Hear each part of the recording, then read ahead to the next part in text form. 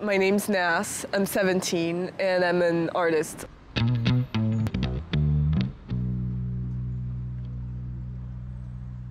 An art is just something that comes out of you that you do.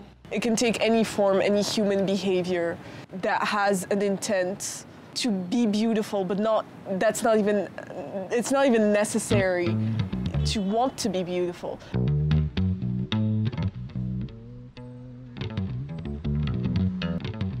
It's just something that a person makes that can be art.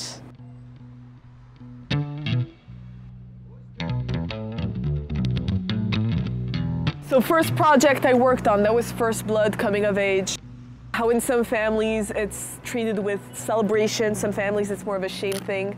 Some families it's edgy, like they said it's normal. I have a preference for art that is engaged in one way or another that's like political. And second project I worked on, To Enemy 2, a project about sexual assault in Morocco. انا بنت كازا طرا لي اغتصاب بزاف بزاف بزاف 16 عام هادشي دابا انا كنت نبات ما خاصنيش نقول شنو شفت العجب سي شي حاله يقدر يدلح لك شي واحد فكاس شي حاجه تقدر يعطيك الفلوس وتيمشي تما تيقلعهم لك وحده 16 عام غتبقى تحس head shifts. Yes. So now working on a mural, and especially a street art mural, that's a gigantic step in another direction, I guess, because it's very different.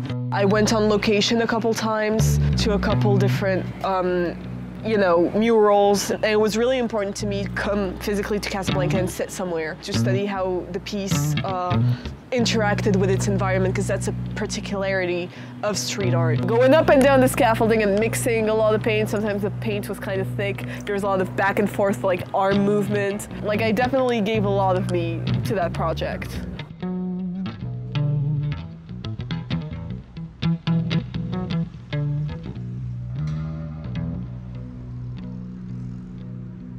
There was a lot of detail work. There were a lot of large surfaces that had to be covered. There was some following the sketch to a T, and there was some improvisation also when I was drawing, like for example, the flowers.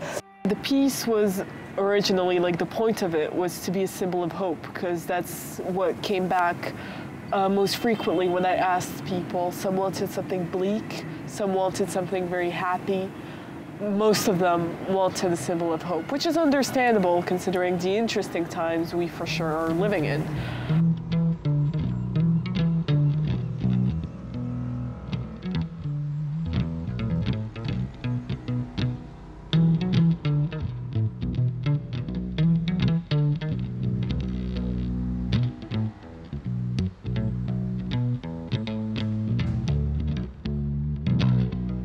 The main face, like the main aspect of the painting that I feel is very obvious at a first glance is it's meant to be very solar. The zelij, which is the name for the traditional Arabic uh, mosaic that you can see behind it, is all in very warm, very yellow tones. Model's hair fans out behind her in a very sun-like way and it's backlit by uh, that kind of sun uh, shape that the mosaic has and on the right side you'll notice that it starts to crumble a little bit and that the colors get cooler and colder almost like there's there's some kind of corruption like it's getting kind of broken up. And so the colors shifting are meant to represent both that feeling of despair and that feeling of hope but her hair, you'll notice that's the one thing, the color of which stays unchanged.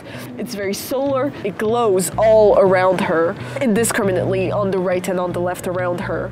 So the lion, the horse, and the hawk. The lion uh, represents both royalty, uh, and it's also the lion of the Atlas in uh, Morocco. The horse is the Arabian horse, and the last one is the hawk, which is the hunting animal. They're all symbols of power. They're all noble animals. You'll see that on the left, the animals are calm, the animals are noble, and their eyes, unlike on the right, where the animals are all angry, you can see they're all snarling, and their teeth, their eyes are black, but their teeth are glowing. And a pretty neat effect is that when it's night, the contrast between the animals in the sky is pretty low. Mm. So when it's night, on the left you only see the eyes. obviously that also represents that struggle, that dichotomy between the two polar opposites that are fighting in the picture of like, you know, things are difficult, but also there's hope.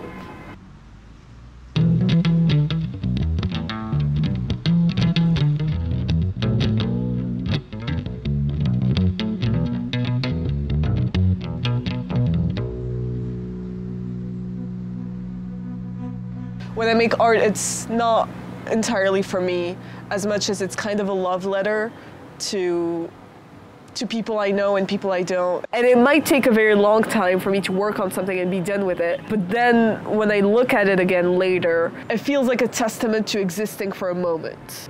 It's like proof that I exist too, the fact that something I made exists.